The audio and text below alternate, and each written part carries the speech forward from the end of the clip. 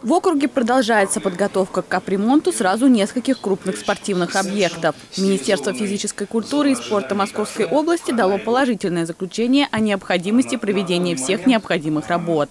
Стандарт, к которому Минспорт хочет привести отремонтированные объекты спорта, это, соответственно, ресепшн, стилизованный зона ожидания кафе, входная группа, раздевалки с цифровыми ключами, Wi-Fi – ну, чтобы посетителям а, и ожидающим было комфортно. За этот год отремонтировали зал единоборств на вокзальной улице, скейт-парк на Центральной площади и входную группу волейбольного центра.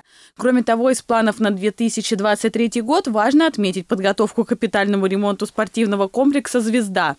Еще один объект в округе – спортшкола «Старый городок», где занимается много чемпионов. На двух строительных площадках ремонт будет идти в рамках государственной программы Московской области «Спорт Подмосковья». Необходимо направить все-таки дополнительное письмо, в котором мы укажем, какое количество детей и людей вообще занимается на этом спортивном объекте, особенно спортивная школа «Старый городок», и приложим все достижения наших спортсменов, тем более они действительно этого заслуживают, получить хороший современный зал. Один из ключевых проектов на будущий год – Академия дзюдо в Звенигороде, где в дальнейшем планируется провести капитальный ремонт.